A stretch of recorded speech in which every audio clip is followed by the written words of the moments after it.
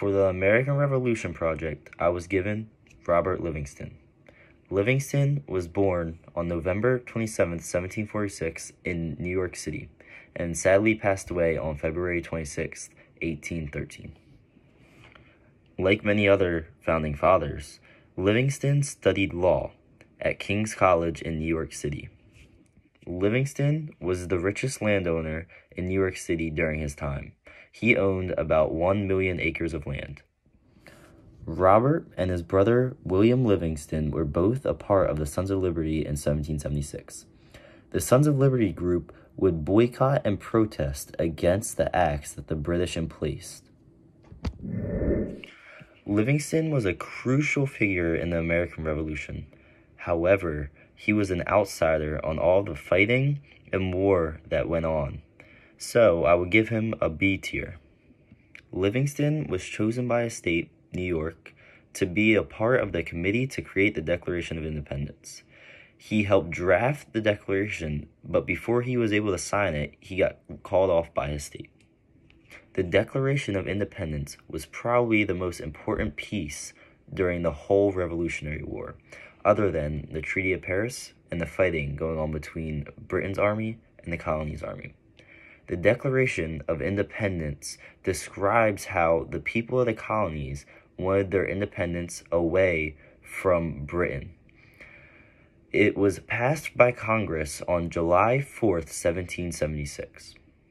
Livingston was a part of the First and Second Continental Congress from 1775 to 1785.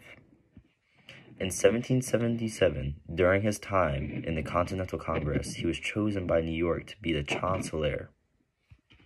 Being a Chancellor in New York, he was chosen to be in the Foreign Affairs Committee, where he was a secretary and helped make peace with Britain. Livingston also assisted the colonies with financial affairs, military issues, and legal organization. Livingston was known and loved by many of the people in the colonies, including George Washington.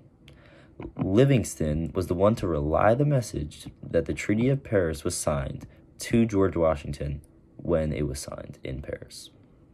Also, at the first inauguration, he swore in George Washington by the oath of office.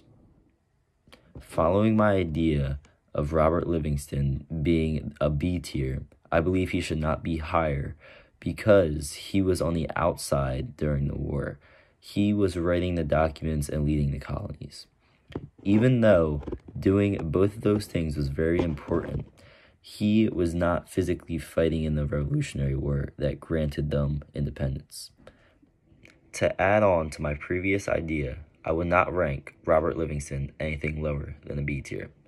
This is because even though Livingston was on the outside of the war, he did help the colonies gain independence from Britain. Even though not a lot of people today know who Robert Livingston is, back then, many of the people in the colonies knew who he was, was very proud of what he did, and was very thankful for what he did, including George Washington.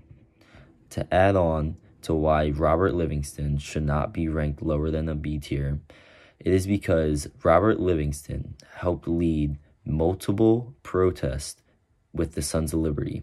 The Sons of Liberty are a very well known group and especially were back then. They caused a lot of damage and also caused a big impact on the independence of the colonies. Thank you for watching my video and I hope you learned something about Robert Livingston because I sure did.